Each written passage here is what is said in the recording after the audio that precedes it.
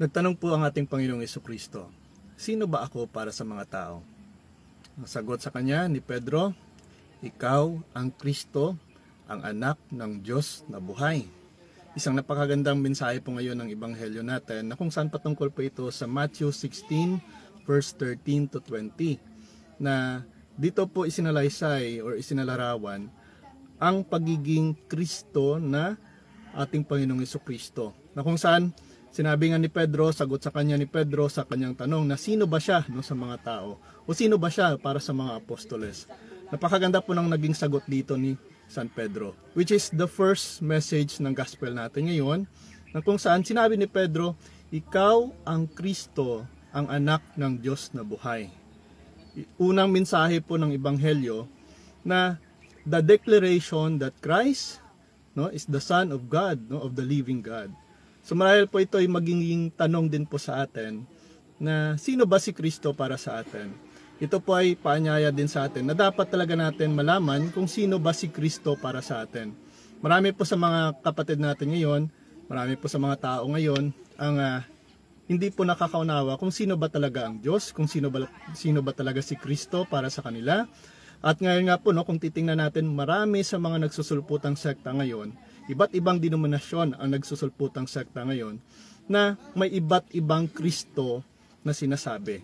At dito nga po sa Ebanghelyo, sinabi po ni San Pedro kung sino ba tala, kung sino ba talaga itong Kristo na sinasabi ng Biblia, na itinuturo ng Biblia.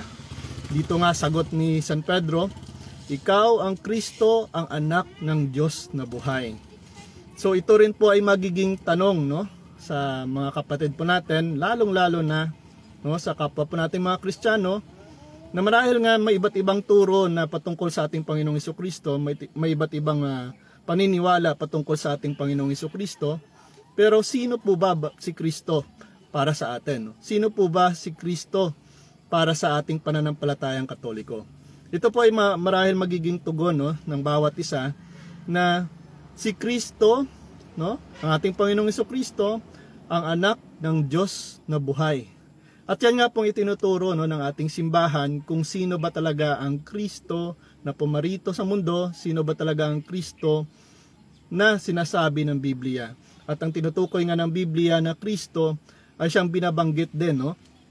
Ang sinabi ng ating Panginoong Heso Kristo na siya ang anak ng Diyos, ang nag-iisang anak ng Diyos na pumarito sa mundo upang iligtas tayo sa ating mga kasalanan. Napakagandang mensahe po na kung saan uh, sinasabi po dito ang maliwanag no, na pag uh, uh, sasalarawan or pagsasabi kung sino ba talaga si Kristo. Which is tama pong naging sagot ni San Pedro dito, no? very firm sa kanyang pananampalataya. Ikaw ang Kristo, ang anak ng Diyos na buhay.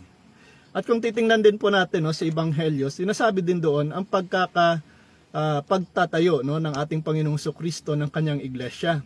Matthew 16 verse 18 sinasabi niya dahil sagot po sa kanya ni Pedro na ang tamang sagot na ikaw ang Kristo ang anak ng Diyos sinasabi ng ating Panginoong Hesus Kristo ikaw Pedro na ibig sabihin ay bato itatayo ko ang aking iglesia.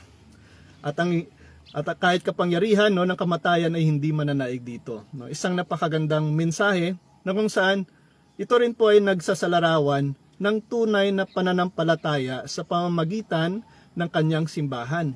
No? Nagtayo po ang ating Panginoong Kristo ng simbahan, Matthew 16 verse 18, upang magturo po ng tamang pananampalataya. And that's actually the reason kung bakit kailangan-kailangan ng simbahan. Bakit po? Dahil sa unang part no, ng Ebanghelyo sinabi doon na nagtanong ating Panginoong Kristo kung sino ba siya para sa kanila. Now, kung hahayaan po natin yung mga kapatid natin na may iba't ibang paniniwala, may iba't ibang katuruan patungkol sa ating Panginoong Kristo at hindi talaga nakabatay sa katuruan na gusto ng Diyos na ituro sa mga tao, ito po ay magre-resulta uh, ng pagkakawatak-watak. Sinasabi po no, ng uh, Ebanghelyo na nagtayo ang ating Panginoong Kristo ng kanyang iglesia, I will build my church. At sa iglesia na ito, dito, dito po manggagaling no, ang katuruan kung sino ba talaga ang ating Panginoong Heso Kristo. Kung kaya sinasabi po dito na mahalaga talaga ang batayan no, kung saan nanggaling ang katuruan na yan. Tandaan po natin mga kapatid, marami pong mga nagsusulpotang sekta ngayon, iba't ibang pananampalataya, iba't ibang pagtuturo patungkol sa ating Panginoong Kristo, ngunit sino ba ang nagsasabi ng totoo? Diba? Kung na-notice nyo po, marami sa mga sekta ngayon ang nagtuturo ng ating Panginoong Kristo ay tao lamang at hindi Diyos. Marami po sa mga nagtuturo ng ating Panginoong Kristo ay mas mababa no, kaysa sa Diyos Ama. Maraming nagtuturo ng ating Panginoong Kristo ay isang propeta lamang at masigit pa no, ang kanilang kinikilalang propeta na nagtatag lang ng kanilang iglesia. Iba't ibang katuruan patungkol sa ating Panginoong Kristo. Pero sino ba talaga ang ating Panginoong Kristo ayon sa kanyang nais at ayon sa pagpapahayag ng Diyos? Sinasabi nga po dito, itinuturo po sa atin, kagaya din po ng sagot ni San Pedro sa kanya, ikaw ang Kristo, ang anak ng Diyos na buhay. At ito din pong pagtuturo no, ng simbahan sa atin na sinasabi po sa atin, itinuturo po sa atin ng ating Panginoong Kristo ay tunay na Diyos, tunay na tao, tunay na anak ng Diyos na buhay. Kung kaya napakahalaga po no, ng papel dito ng uh, iglesia na itinatag no, ng ating Panginoong Kristo. Matthew 16 verse 18 sa pamamagitan ni San Pedro na kung saan tumutukoy at mag, uh, magtutukoy talaga ng tamang katuruan patungkol sa ating Pang Panginoong Kristo.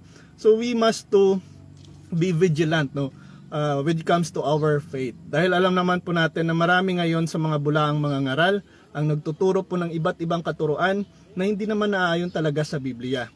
They just teach no, the Bible according to their own interpretation but not really on the real context ng itinuturo ng Biblia. At napakaliwanag po no, na iisang iglesia lamang ang itinayo ng ating Panginoong Kristo. Kung nabasa niyo po ang gospel ngayon patungkol sa Matthew 16 verse 13 to 20, kung nakabasa na kayo patung, uh, hanggang doon sa verse 18, sinasabi po doon na I will build my church. Iisang iglesia lamang. Church, not churches.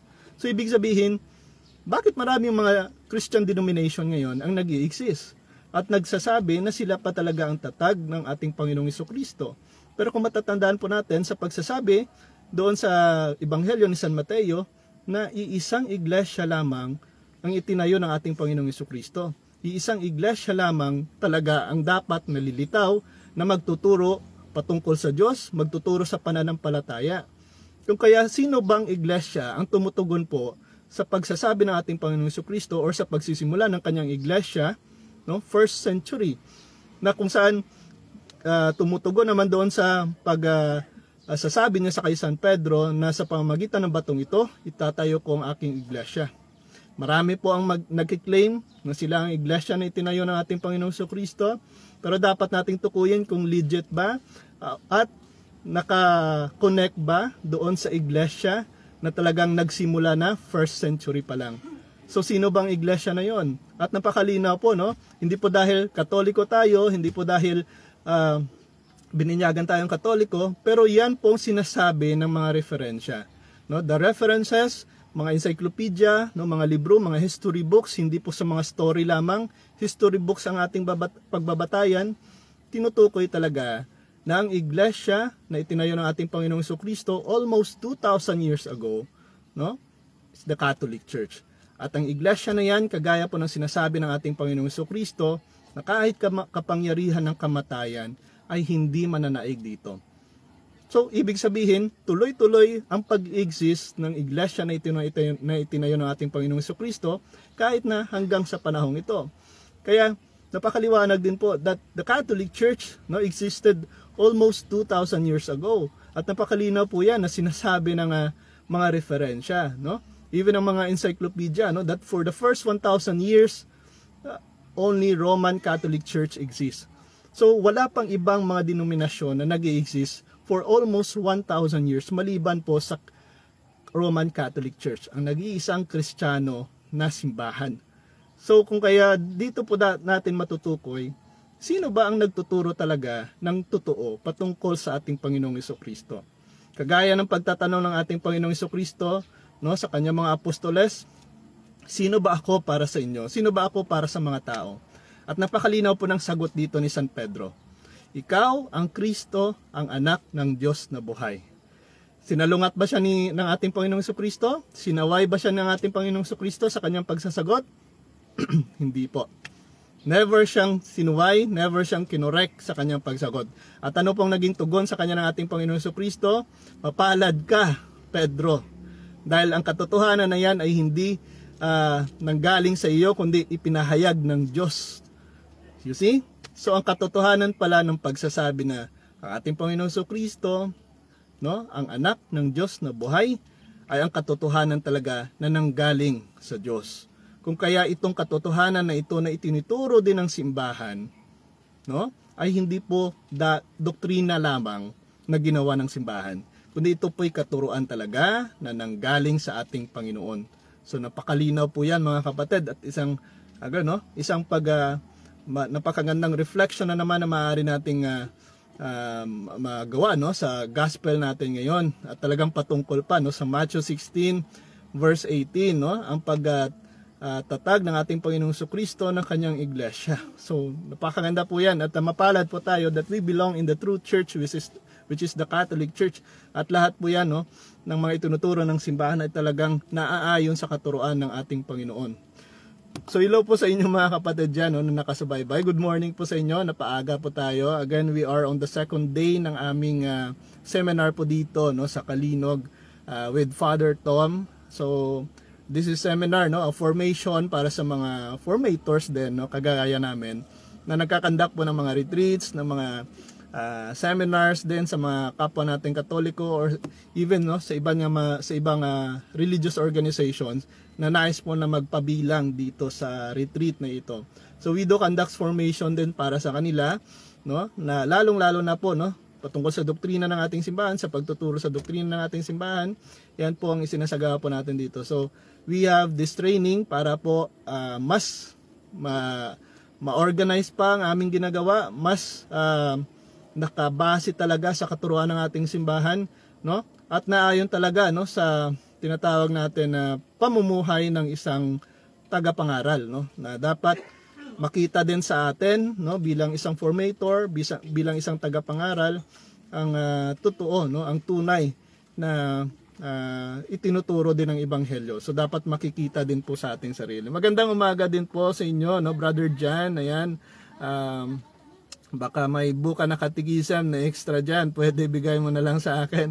No, kapatid, wala din po akong uh, katikisan no, na printed. So, I always use ang mga uh, sa online. So, i-search lang po natin. Mas madali pa po sa online.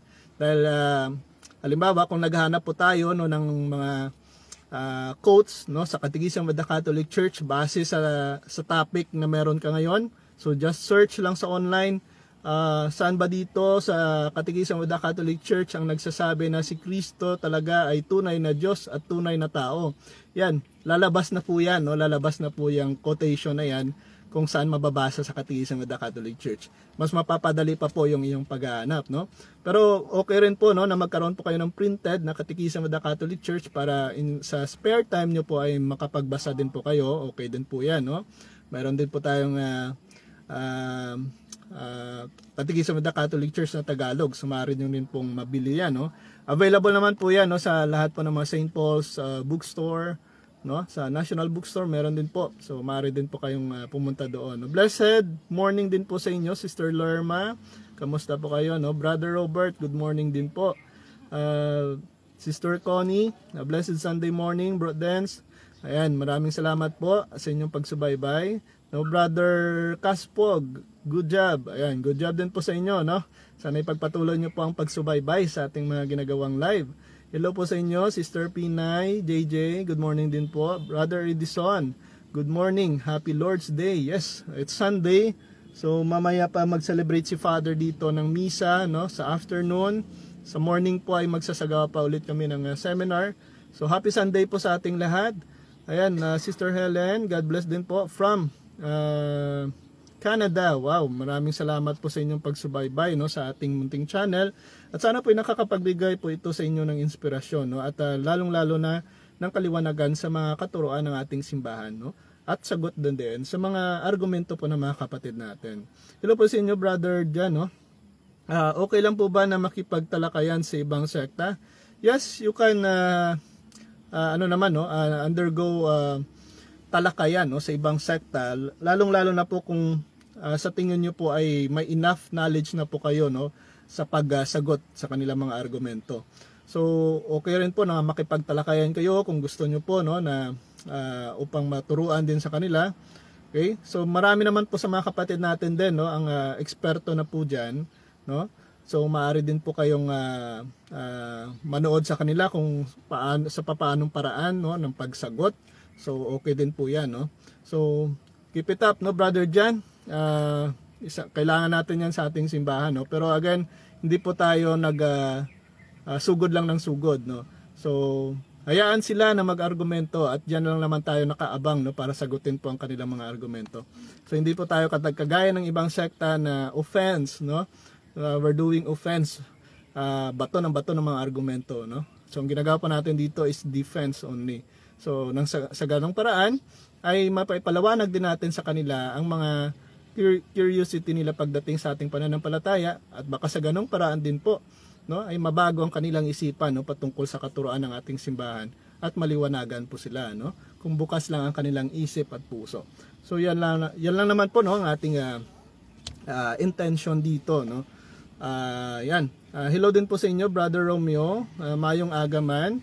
Ah, ayan, from UAE. Yan, maraming salamat po sa mga kapatid natin dyan na mga OFW. Naku po, ang laki po ng mga sakripisyo ninyo para sa ating ah, ah, bayan, no? And also sa inyong pamilya din, no? Dahil din po sa inyong mga sakripisyo na pagpunta sa malayong lugar para lang talaga itaguyod ang pamilya. God bless po sa inyo, no? Sabi nga dito ni Brother John, bakit walang CFD dito sa amin, sa Lucena City, Quezon Province? Baka sa inyo na po magumpisa yung CFD dyan, no? Ayan, maganda po na dahil ah, kayo po yung may interest, baka maaring ah, kayo din po ang mag-initiate. So matulungan nyo rin po no, yung probinsya ninyo. Again, okay din po na mag-form no, ng, ng ganyang grupo. No? Pero kung hindi pa naman recognize at ah, talagang ah, na may ability na no ah, capacity na na magtuturo na mag-evangelize okay din po yan kahit ah, hindi pa muna or ah, organize no sa inyong po muna magsimula para at least ah, you have already the foundation no ng tinatawag ng grupo ng CFD na yan so maganda po yan ayan hello po sa inyo brad sister Lor Lorma God bless din po happy Sunday din po sa inyo brother Gregorio hello po sa inyo magandang umaga at salamat ah, at naunawaan ko po. Maraming maraming salamat po at nakakatulong yung page natin. Good morning, Sister Alicia. No? Ah, straight Catholic po lang tayo. Tama po 'yan, no? Manatiling matatag ng isang Katoliko lang po tayo, no? So again, ah, pinagnilayan po natin ang patungkol po sa gospel natin ngayon. Pakaganda po, no? Kung saan patungkol talaga sa Matthew 16 ah, verse 18, no? Ah, simulan sa 13 to 20 na nagsasalarawan talaga ng ng ah, pagpapakita no na kung saan dito dineclare kung sino ba talaga ang ating Panginoong Kristo sa pamamagitan po ng sagot ni San Pedro na hindi talaga naman talaga galing sa kanya kundi yan po ay ah, ano no inilantad or ah, sinabi sa kanya ng ah, Diyos mismo. So yan po marahil ang ah, um, ta, um, mag, maaari nating maging masagot no lalong-lalo na sa maraming mga katuruan ngayon patungkol sa ating Panginoong Kristo. So, ang ating Panginoong Kristo din di po dito ay nagtatanong lamang sino ba ako no para sa inyo. So, yan din po ang maaari nating maging sagot. Sino ba ang ating Panginoong Kristo para sa ating buhay? No? Sino ba siya? Ano bang pagkakilala natin sa kanya? Kagaya din pa ng itinuturo ng, ah, ng mga unang Kristiyano, ng mga apostol. So marahil ah, iba't ibang Kristo nga ngayon ang nag ah, sisilitawan no dahil marami nang nag-proclaim ng ah, iba't ibang katuruan patungkol sa ating Panginoong Kristo.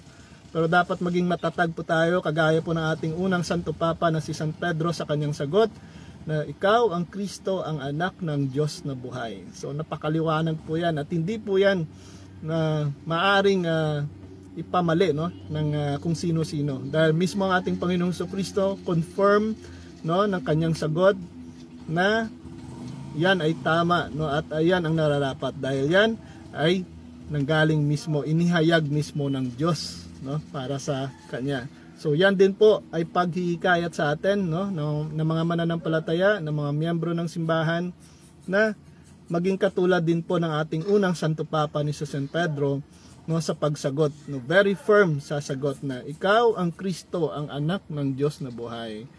Yan good morning din po sa inyo no? Sister Sally good morning din po. Uh, Brother Romeo Friday lang kami nagsimba ka curious kay day off namin okay so so Sunday pala may trabaho po kayo no pero again, wag rin pong kaligtaan uh, Sunday, yan pong inalat natin no para talaga makapag uh, simba po tayo, makomply po natin yung uh, every week na simba.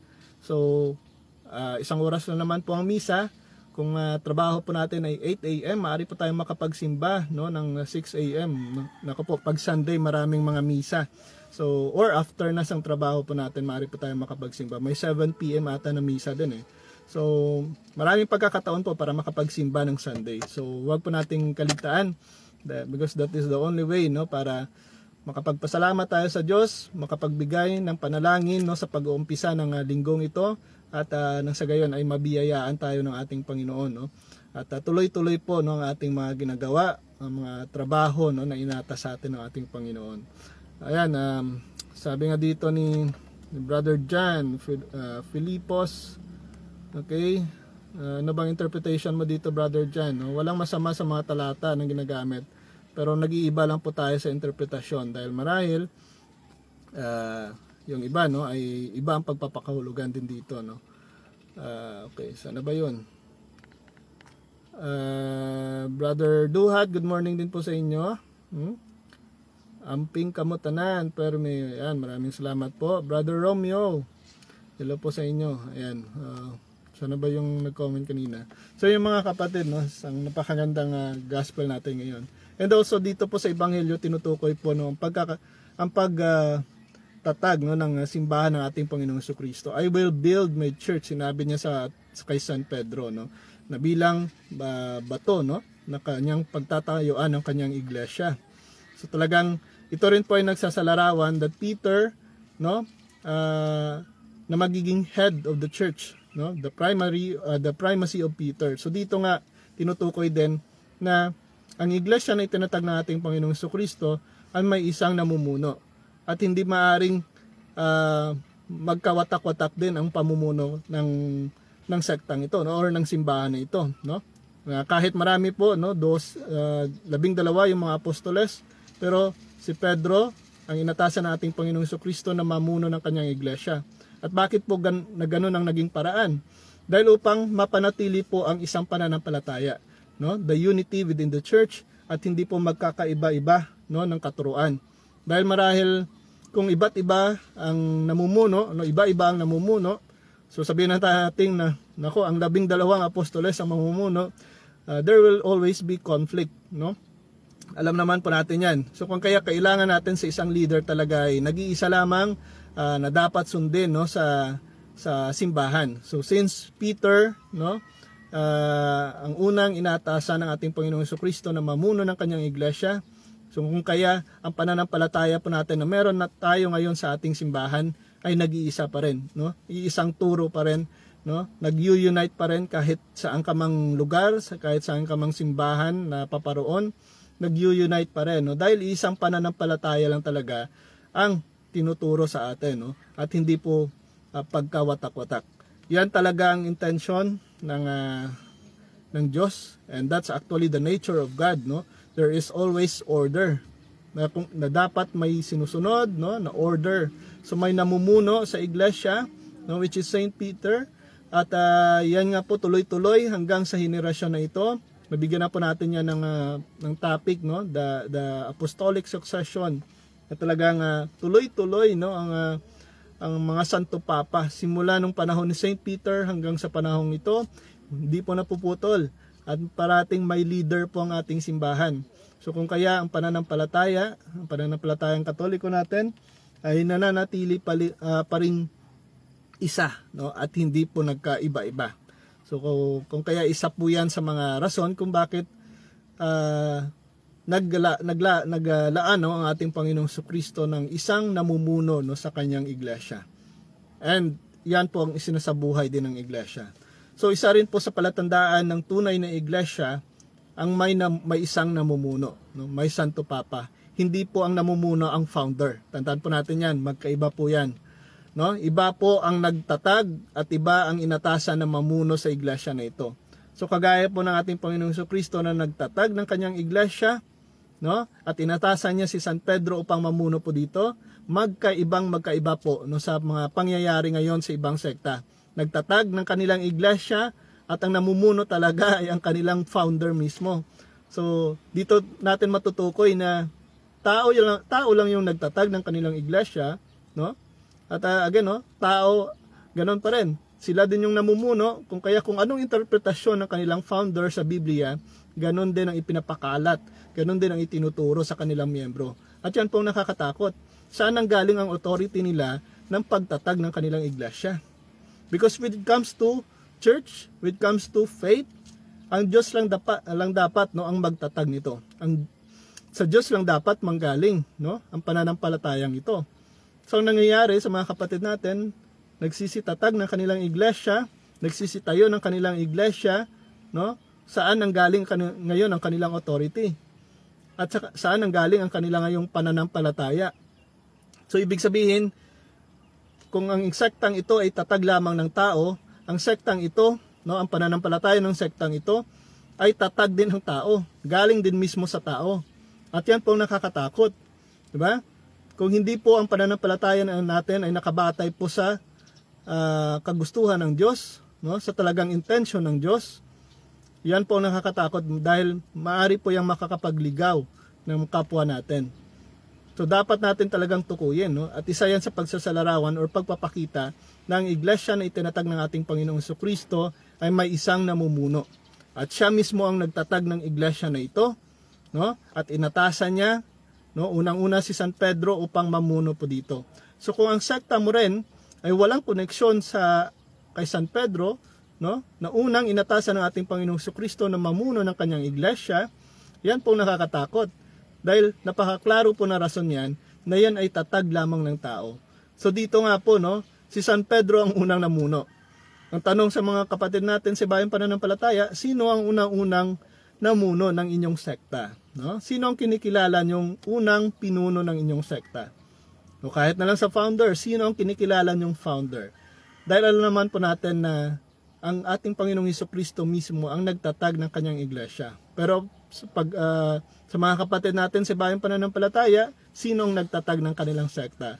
Alam naman, alam naman po natin no, na tao lamang at alam naman po natin na uh, nitong huling panahon lamang sila nag-exist na napakalayo po sa katotohanan ng pagsisimula uh, ng iglesia ng ating Panginoong Heso Kristo na first century.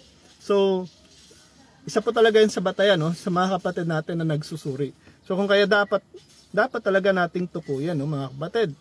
No, hello po sa inyo Sister Imelda, no, mayong agaman. Uh, Brother Jan, no. Hello po sa inyo. Last na po, totoo po ba ang ibong mandaragit no ay si King Cyrus of Persia? at hindi si Manalo. Yes po, napaka liwanag po yan na sinasabi sa uh, Isayas no na si King Cyrus nabanggit naman po yon ang pangalan ni King Cyrus at hindi po si Felix Manalo. So saan kaya ang claim ng galing po ng mga kapatid natin yan no na sabihin si Felix Manalo ang uh, ang uh, ibong mandaragit. So dapat talaga nating tukuyin no kung sino ang tinutukoy na tao po diyan. So hindi po maaring si Felix Manalo dahil hindi naman po siya nabuhay nung panahong iyon. No? Hindi na uh, sabihin na nating prophetic book po 'yon. Pero again, may tinutukoy po na, na tao po doon na lilitaw na bilang isang ibong mandaragit at hindi po galing sa Pilipinas. Kung titingnan po natin ang ibong mandaragit po 'yon ay may uh, uh, anong tawag natin dito, no? May empire, no? Na kung saan uh, isa sang hari na mag uh, again no mag uh, uh, conquer doon sa uh, sa nag uh, sa Babylon no uh, yan isa po yan sa mga uh, rason talaga na makikita natin conqueror itong sinasabi na ibong mandaragit no pero itong si Felix Manalo ay hindi naman conqueror eh no siguro nga uh, marahil yan ang kanilang interpretasyon base sa kanilang limited na pag-unawa pagdating po sa sinasabi ng talata, no? Pero again, hindi po yan talaga Bukoy no sa Isayas sa aklat na no Right, uh, medyo nawala po yung internet natin. Uh, balik po muna tayo. Okay. So, saan ba dito yung camera? Ayan po mga kapatid, no? Ah, medyo nagka-internet interruption po tayo. Okay, so mapagpalang oras po, uh, Sister April, magandang umaga din po. Okay lang po ba na gamitin ng rosary kahit hindi pa na-bless? Okay, so kung gami gagamitin guide, yes, uh, okay rin naman po. Pero mas maganda po na blessed. Kasi again, uh, upang maiwasan po yung mga contamination. Dahil, dahil baka po yung rosary na ginagamit po natin ay uh, contaminated. So maaari pang maging contaminated yung ating mga panalangin. Okay? So, yan po ang ating iniwasan po dito.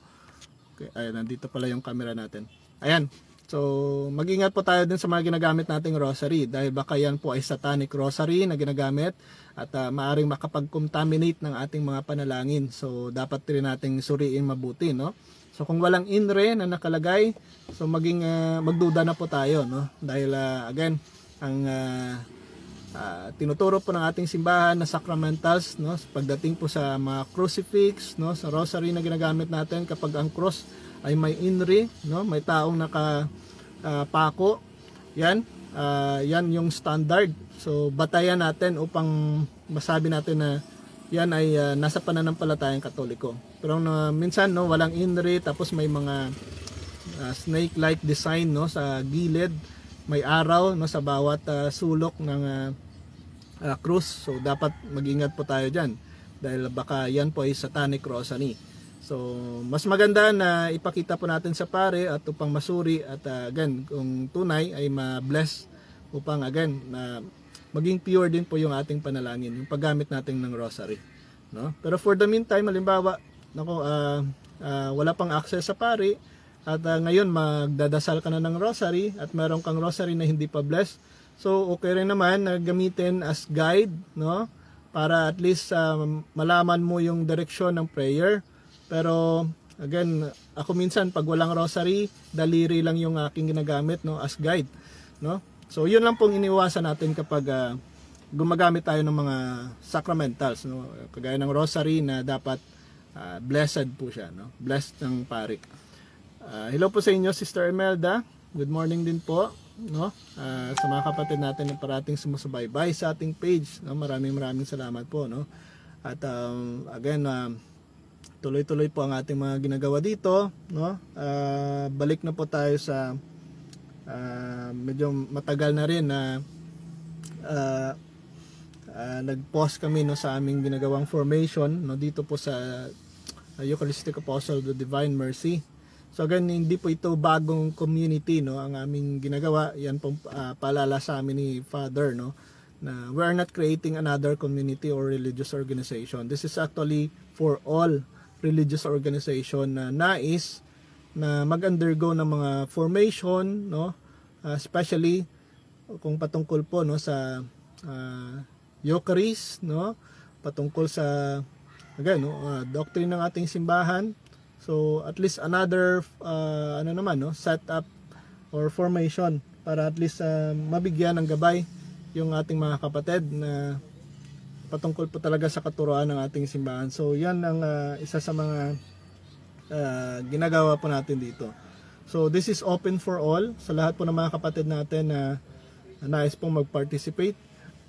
Yan po ang isa sa mga uh, talagang uh, intensyon no, ng grupong ito.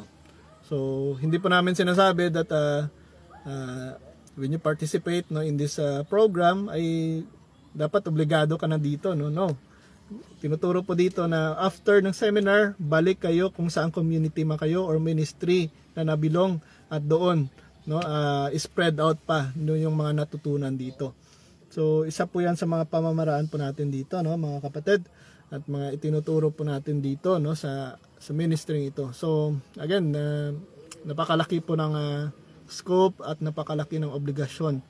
So, sana po uh, ipagdasal nyo rin po no, yung aming uh, uh, spiritual uh, uh, advisor dito na sana ay mas uh, bigyan pa sa ng ating Panginoon no, ng mas mahabang buhay, ng magandang kalusugan upang mas malawak pa ang marating ng ganitong uh, ministry. So alam naman po natin na kailangan na tala- talaga natin no, ng pari na mag uh, guide no sa mga ginagawa po natin. Especially if it's all about uh, spirituality no? Uh, uh, sabi nga dito no ni uh, ayan uh, Brother Carlos no thank you din po sa inyo. Salamat po sa panonood.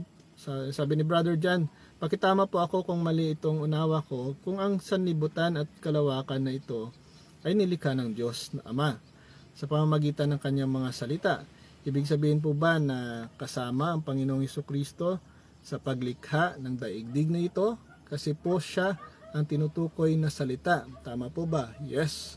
Actually, ang Diyos talaga. And when, when it comes to God, no? If we're talking about God, Uy, ngayon nakaabot ka? Yan eh. Te, anong sakyan mo? Ah, nagsakay ka na lang. Oh, kasama po natin dito si Mr. 721. O yan, kakarating lang yan. So kahapon di pa siya nakapunta kasi uh, wala pang service siguro no. So ayan um, nakaabot po siya. Tayo mga good. Di pa mga tanong. So, yan, sa tanong po, no, actually it's all about God. And uh, if we're referring about God, no, sa ating pananampalatayang katoliko, uh, we refer to God, the Father, Son, and Holy Spirit, the Trinity. No? Hindi po kagaya ng iba na isa lang pag sinabing uh, uh, Diyos ay ang uh, Diyos Ama lang yung kina, kanilang kinikilala. Pero sa ating pananampalatayang Katoliko, uh, pagdating po sa creation, no, andyan po talaga ang uh, God the Father ang persona ng Diyos, no. God the Father, Son and Holy Spirit. At kahit po mababasa po natin 'yan no sa uh, Genesis, talagang uh, nabanggit doon ang presensya no ng uh, tatlong persona na ito, no? That is why sinabi po ng Diyos na let us create no us So hindi lang pala I will create. No, sinabi doon let us create. So meaning nandoon ang participation talaga ng tatlong persona ng Diyos no sa paglikha. So yan ang hindi po matatanggi ng mga kapatid natin. At ang salita po tama po no, it refers to Jesus Christ, no? Dahil diyan diyan, diyan din po sinasabi no sa John chapter 1 no na sa pamagitan ng salita nilikha ang lahat ng bagay. Tama po 'yan no. At uh, isa po 'yan sa mga again uh, katotohanan no patungkol po sa ating Diyos no sa ating Panginoon. So magandang pagsusuri po 'yan brother Jan no at uh, may nagawa na po tayong content diyan pagdating po sa Trinity. Maaari niyo pong ma ma-search no sa ating page upang malaman talaga natin na Diyos ba talaga ang uh, ang Trinidad, ang tatlong persona at uh, paano natin masabi na pantay-pantay, paano natin masabi na nagkakaisa sila at uh, hindi natin masasabi na tatlong Diyos itong ating sinasamba. So yan po no, maliwanag na isang Diyos lamang ating sinasamba. Ngunit sa ating pananampalatayang katoliko, ito po ay may tatlong persona. Okay, ang Diyos Ama, Anak at Espiritu Santo. At hindi po ito magkakaiba. Nag-iisa sila, no? Nagkakaisa sila. At uh, again, no, they are in unity.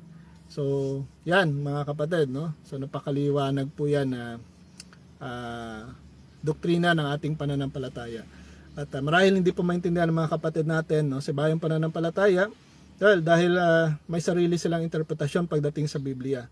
Pero again, uh, pagdating po sa ating pananampalataya, sino ba talaga ang unang inatasan ng ating Panginoon no, na magturo ng tamang pananampalataya? No? Ever since first century ay uh, nagsimula na po ang uh, katuruan ng pagdating po sa Trinity. Hindi pa lumitaw itong mga kapatid natin si bayang pananampalataya. Yan ang uh, katotohanan at uh, hindi po yan maaring uh, tanggihan ng mga kapatid natin. So, saan ba tayo maniniwala? No? Sa mga bago lamang lumitaw na doktrina o sa doktrina na itinuturo na mismo no simula pa noong unang panahon ng pagkakatatag ng ating Panginoong Kristo ng kanyang iglesia at pag-umpisa lumaganap ng kanyang uh, iglesia no sa pamamagitan ng mga apostol no at sa mga unang Kristiyano. So yan po ang dapat nating tukuyin, yan po ang dapat nating alamin dahil uh, again hindi po maaring mapamali no ang katuruan patungkol sa ating pananampalataya. Hindi po maaring uh, masira po ito dahil uh, again uh, ang Diyos pa rin no ang kasama ng simbahan natin, ang Diyos pa rin ang gumagawa no sa lahat ng mga nangyayari no pagdating po sa ating pananampalataya no sa Iglesia Katolika. No, ang Diyos pa rin ang gumagabay. So dapat nating uh, paniwalaan ang sinasabi nating Panginoon sa Kristo na hanggang uh, sa huling panahon ay uh, makakasama ninyo ako.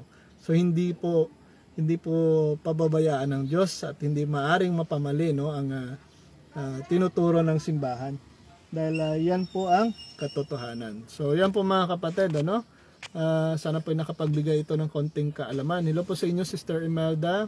Maraming maraming salamat po. Sister Bernadette, maraming maraming salamat po. No? So ngayon na po ay mag-aagahan na po kami upang makapagsimula na po no, sa aming ah, ah, second day na session para sa aming formation as formators.